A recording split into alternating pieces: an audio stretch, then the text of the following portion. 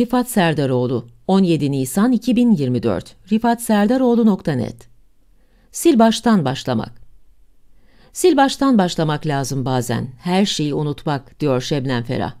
Keşke yapabilsek. Unutsak yalanları, kötüleri, kara vicdanlıları, devletini, milletini soyanları, karanlık kafaları, Türk milletinin huzuruna, refahına düşman olanları, bebekleri öldürenleri, çocuk tecavüzcülerini, el kadar bebelerin yanarak can verdikleri halde şikayetçi olamayan zavallı ana babaları unutsak, İstanbul Sözleşmesi'ni iptal ederek korumasız bırakılan kadınları öldüren aşağılık katilleri unutabilsek, hiç yaşanmamış sayabilsek, Evdeki hırsızlık paralarını sıfırlayan ahlak yoksunlarını yargılayabilsek, devletini milletini soyan, rüşvet alan, yolsuzluk yapan şerefsizlerin yüzsüzce hala aramızda dolaşabilmelerini engelleyebilsek, vakıflar kurup yüz milyonlarca doları cebe indiren, kendilerini devletin adamlarına karşılatan veletlerin ve karşılayanların yüzlerine tükürebilsek. Bunları sil baştan yapıp sıfırlamak istiyorum.'' Niçin biliyor musunuz? Evlatlarıma, çocuklarından, torunlarından şu soruların gelmemesi için. Oğluyla telefonda hırsızlık paralarının taşınıp saklanması için sürekli konuşan, buna rağmen sabah evinde hala 30 milyon avro kalan birine nasıl tahammül ettiniz? Dün ak dediğine ertesi gün kara diyen omurgasız parti genel başkanlarını nasıl seçtiniz? Seks kasetleriyle esir alınan salak genel başkanları niçin indiremediniz?'' Çok önemli bir yakınımın gelinini yerlerde sürüklediler.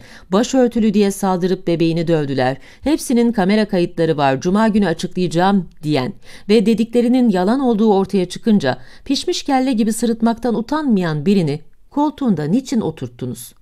Bu kadar çok yalaka satılmış gazeteci, televizyoncuyu niçin dinlediniz, seyrettiniz?'' Dede baba sizler nasıl oluyor da iktidarın tezgahladığı 15 Temmuz darbe girişiminin kontrollü hileli bir darbe girişimi olduğunu anlayamadınız?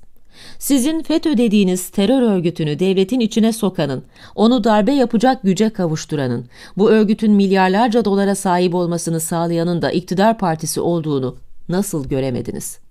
Cumhuriyet yıkılırken, ülke dikta rejimine götürülürken, anayasa bile olağanüstü halde tekme tokat ve silahlar altında zorla değiştirilirken sizler ne yapıyordunuz? Ülke çözüm süreci adında akil insanlar denen hainler tarafından parçalanırken, dinci terör örgütleri şehirlerimizde at oynatırken sizler ne yaptınız?'' Hadi bizleri hiç düşünmediniz ve berbat halde bir ülke bıraktınız. Sizler kendi dedelerinizin yüzüne nasıl bakacaksınız? Onların emanetine böyle mi sahip çıktınız? Tunus'ta buğday fiyatları arttı diye milyonlarca insan sokağa dökülürken, ülke bataklığa doğru hızla yol alırken sizler niçin oturdunuz? İşte bu ve benzeri sorulara muhatap olmamak için Yapabilsem sil baştan yapıp hayatı sıfırlamak isterim. Başarılı olamadıktan sonra çekilen çilelerin, sıkıntıların, demokrasi uğruna yatılan hapislerin bir önemi olmadığını nasıl anlatırım torunlara? Değerli okurlar, tüm bu pislikleri süpürmek ve tümünden kurtulmak için yeni bir merkez sağda konumlanmış halk hareketine acilen ihtiyaç var. Yukarıdaki gibi sorulara muhatap olmamak ve güzel ülkemizin ilkel insanlardan temizlenmesini gerçekleştirecek, tüm milletimizi sevgiyle kucaklayacak bir hareket olmalıdır bu. Artık bunu konuşalım ve lütfen yapalım. Çağrımızı bekleyin. Rifat Serdaroğlu